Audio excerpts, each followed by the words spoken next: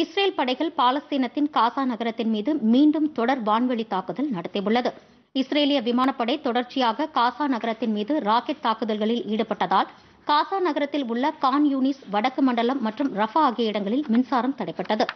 காசாவின் உயர்ந்த கட்டிடங்களின் மீது குறிவைத்து இஸ்ரேல் தாக்குதல் நடத்தியதாக அங்கிருந்து வரும் தகவல்கள் தெரிவிக்கின்றன.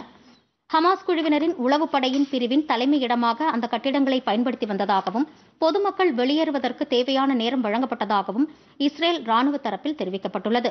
இதனிடையே பாலஸ்தீனத்தின் ஹமாஸ் குழுவினரின் ராணுவ பிரிவு இஸ்ரேலின் டெல் அலிவ் மீதான வான்வெளி தாக்குதலை நேற்று இரவு இரண்டு மணி நேரத்திற்கு நிறுத்தி வைத்ததாக அறிவித்திருந்தது. எனினும் நள்ளிரவுக்கு பிறகு காசா பகுதியிலிருந்து இஸ்ரேல் பகுதியில் ராக்கெட் தாக்குதல் நடத்தப்பட்ட இஸ்ரேலிய பாதுகாப்பு படை தமது ட்விட்டரில் செய்தி வெளியிட்டுள்ளது.